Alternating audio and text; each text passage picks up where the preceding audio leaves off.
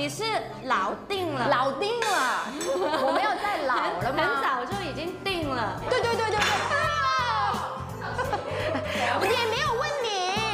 谢霆锋发脾气了，谢霆锋发脾气了。真心原谅张柏芝了吗？谢霆锋的回答是从未怪过张柏芝，两人即便是离婚了，也很庆幸仍然有着很好的朋友关系。如今两人各自事业有成，这已经是很好的局面。想当年神仙都羡慕的明星夫妻。被突如其来的艳照门事件给摧毁了。或许是因为张柏芝为谢霆锋生下的两个儿子，已经足以让谢霆锋怪罪不了张柏芝。但也因为这已经是有裂痕的婚姻，谢霆锋无法接受污点，进而转身投入初恋王菲的怀抱中。谢霆锋、张柏芝两人的感情走向真的很迷。谢霆锋与张柏芝也已经离婚了很多年，不过他们在娱乐圈的复合热度还是很高的。有些人觉得张柏芝第三胎的生父就是谢霆锋，不得不说谢霆锋是生父的可能性很大。因为谢霆锋的父亲谢贤承认了，谢贤在采访中表示，无论张柏芝怎么样，都是谢家的儿媳妇，张柏芝的孩子自然也是谢家的孩子。我喜欢我就会去做，我不喜欢我你怎么叫我都都不会去做。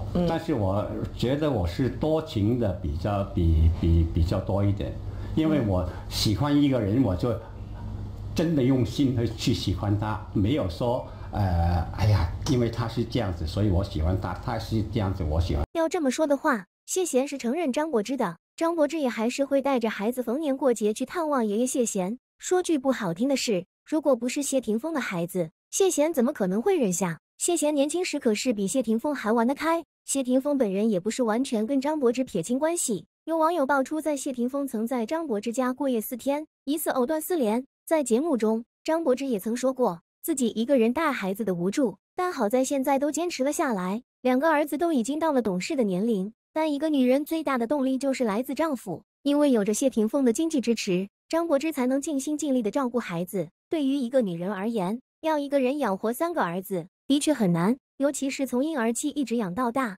在这中间需要付出各种努力。虽然离婚了，张柏芝与谢霆锋之间的关系没有想象中的那么坏。反而对于他们来说更加融洽，也会加大变漂亮。所以你看着他，他也可以这么。所以你上大号的时候，王菲不能看吗？我不喜欢。啊，那洗澡王菲可以看。那那。但是我想说，他洗澡的时候，你可以看。先说你的，先说你的。